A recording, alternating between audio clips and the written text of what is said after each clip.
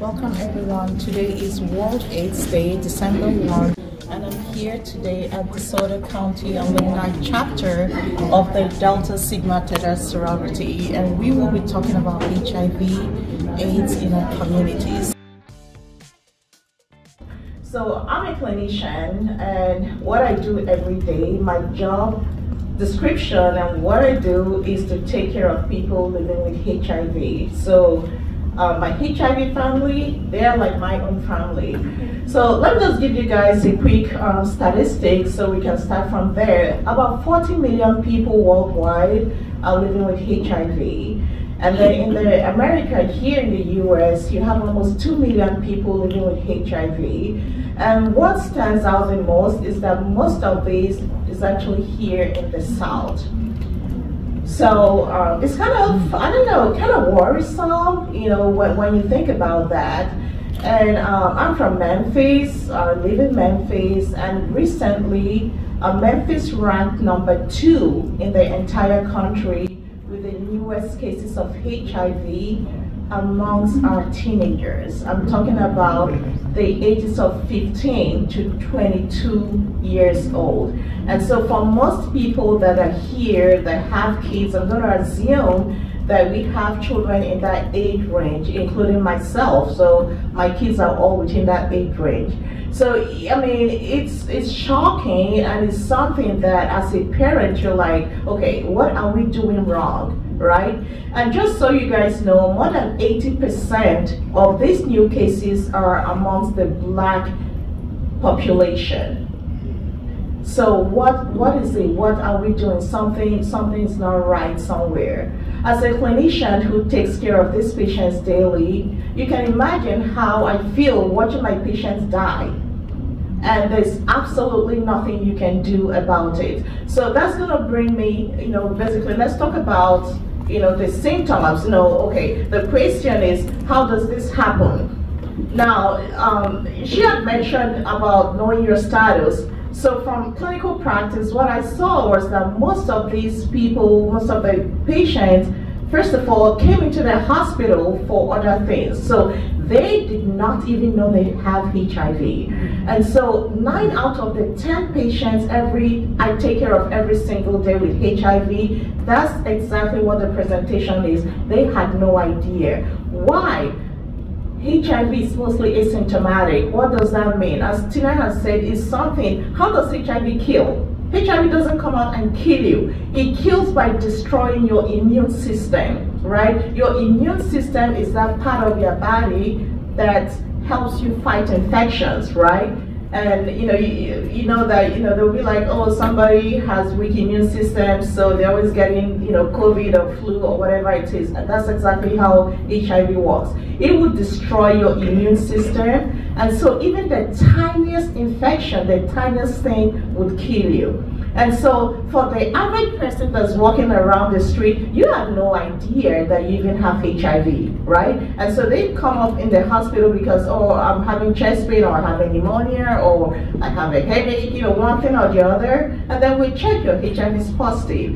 Now, for there are three stages of HIV. You have the acute phase, which is you know what happens around the time within the first two to four weeks when you contract the, the infection, you might have something like a flu-like illness. Mm, I was sick for a few days and then it goes away and then you're fine. And then you have this period that's called a chronic phase that will last like 10 years where you have nothing. Like there's absolutely nothing wrong with you. So unless you have a crystal ball, there's no way to know you have the infection. So that's where knowing your status is, is very, very important. The time, by that time, you know, people are presenting to us in the hospital, majority now have AIDS, which is the end part of HIV. That's the point where when you get to and nothing is done, you will die, is guaranteed. And so those are the patients um, in this class are the patients that I do take care of. So how do you contract HIV? There are so many ways um, each and every one of us here can contract HIV. The commonest would be through sexual um, relationships, so where there's exchange of bodily fluids.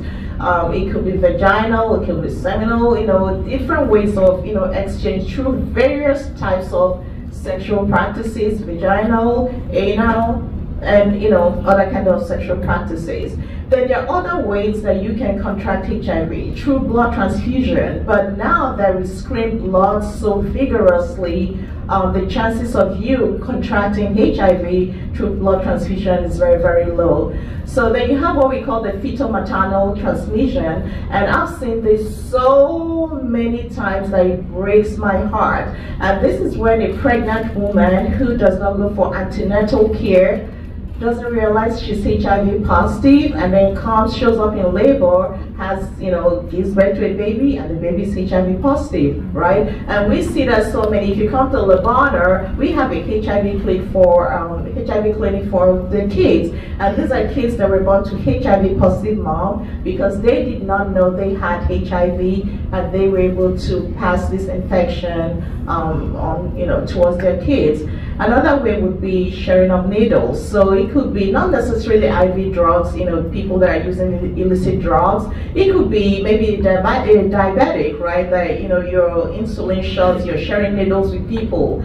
Um, you can contract HIV because you don't know what the other person has. So this would be the commonest methods that people get HIV. So me standing here as a black woman, majority of the patients I take care of are also black women. And what kills me, it, like I say, is not knowing your status. When you're involved with somebody, when you have you know an intimate relationship with somebody, and you do not know their HIV status, and you know, and so a lot of times, you know, women, you know, hmm, you know, you you've been going steady with somebody, you know, so you're hoping, you know, they're faithful, you're faithful, at this point, I feel like you just need to take care of yourself. So make sure you get tested. Before we leave here, we have the testing, free testing, know your status. Like I said, majority of the cases that show up in the hospital are people that didn't even know they had the infection. So it's very, very important that you know your status, male, female, whatever it is, and that way you know what to do. So let's now assume that you're HIV positive. Okay, you get over the shock. What do I do? That's why you have physicians and healthcare providers like myself, like Dr. Tina. That's what we do for a living, to take care of that. As she said, HIV is now a chronic illness. It's no longer like it was in the 80s, like, you know, you talked about your uncle, where it was, it was literally a death sentence. Now, you take one pill a day, and you are fine. So the issue that I see in clinical practice is what we call non-compliance, which is where people just refuse to take their medicine. And there is no way out, you will die. It's just a matter of time. And so for me, sitting down there and watching my patients die, a useless death because you were not taking your medicine. So if you don't take any message away from me today, one, know your status. Two, if you know if you're HIV positive or you have a friend, a family member that's HIV, we need them to take your medicine. As long as you're taking your medicine, you become undetectable like Dr. Tina talked about. What does that mean? It means that the medicine is able to keep that virus so low that when we check for it, it's going to be absent. Mind you, there is no cure. It's a virus. So it's going to be in the body forever, but you can control it. How, why, why is it so important to be undetectable? You will not be able to pass it on to somebody else. Even if you're HIV positive and you have sexual intercourse with somebody else, you would not pass that infection over to you know, to the next person. So this is something I kind of wanted to stress on because my patients that die, that is what's killing them not being controlled. So now let's talk about, let's say, you know, let's, you know, give a typical scenario, you know, something happened, you know, you had some, you know, um, you know, close intimate relationship with somebody and you do not know their HIV status. What should you do? So that's where I'm sure everybody here must have heard about PrEP, which is the post-exposure prophylaxis and post-exposure prophylaxis. Let's talk about PrEP. What is PrEP? The pre-exposure prophylaxis. These are medicines. We now have medications that are available to every single one of us here. And so if you find yourself in a high-risk sexual situation, either you know maybe you're with somebody that has multiple partners or you have multiple partners or you do not know the status the hiv status of your partner you can get on prep there's something that is called discordant couples, which I do have a lot of patients like that, where you have husband and wife, one person is positive, the other one is negative. So what do we do? We, the one that is negative, we put that person on medications to prevent them from getting this infection, you know, they can go up, you know, live their normal life. So it's called PrEP, pre-exposure. So we're giving you this medication to kind of prevent you from getting HIV. So you also see this in commercial sex workers. Uh, we can see that in um, men who have sex with men, that, you know, that's where you have the highest um, patient population um, you know, that we can put you on this medication. What it does is just to prevent you from getting HIV. Now, what happens if for some reason you've been exposed, right? Um, Dr. Tina talked about when she had a needle, you know, stick. For those of us in healthcare, we still have to take blood, draw blood, you know, on, on our patients who are HIV positive, whether they're controlled or uncontrolled, or you had, you know, one fake party and something, you know, one thing led to another, you know, you had an you had some relationship with somebody that you don't know their status.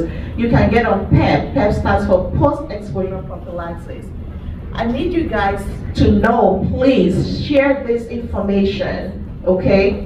When, if you're able, if you find yourself in one of these scenarios, you know, be it needle stick injury, be it, you know, um, in, you know, intercourse with somebody, you don't know their status, or perhaps it's HIV positive, you don't know if they're controlled or not, you can go to the nearest emergency room. You can go to your, you know, PCP's office. You can go to any acute care facility and say, hey, I think I've been exposed or, you know, I, you know something happened, I'm not sure. We would put you on medication to make sure you do not get that infection. It needs to happen within 72 hours okay? Usually the first 24 hours is the best time to get that medication, but if that didn't happen, you have 72 hours to take that medicine and what it does is to prevent you from getting HIV. So let's assume you ended up, you know, having some kind of intercourse with somebody who's HIV positive and we put you on PEP, the chances of you catching HIV is slim to none okay? So, but most people do not know that we have this things available. So for nothing else, I want everyone here today to be very um, com comfortable talking about PrEP, the pre-exposure prophylaxis, which are the medications we put you on to prevent you from getting the infection, and then the PEP, which is the post-exposure prophylaxis, which is the medications we put you on post-exposure to make sure you don't convert from HIV negative to HIV positive. The first thing we will always do would be, again, to check your status. We need to make sure that you are HIV negative. If you're HIV positive, we can give you either the PrEP or the PEP. We actually have to put you on the full dose of HIV medicine. So, um, thank you all for giving me this opportunity to talk about this um, is something I'm very passionate about, given the fact that this is what I do for a living, and um, it, it, more than 80-85% of new cases are amongst the uh, black communities, and then um, it's also affecting our children 15 to you know 23 years old. That's we're talking about high school to college age kids. It's devastating. And so for every parent that's here, it's so uncomfortable, but I need you all to have these conversations with your kids, um, you know, because they don't know. Um, I have a 15 year old, and every time I try to talk to her, she's like, Mom, please, oh my God. Like, they do not want a kid. My college kid, like, kill me. Like, they have this who just shoot me. Like, they, they don't want to talk about it. I'm like, well, we're going to talk about it because uh, obviously something is wrong somewhere. So I'm going to encourage every single parent here, when you leave here, you have teenagers, you have kids in college, you know, in your early 20s, sit down, have this conversation about safe sex practices.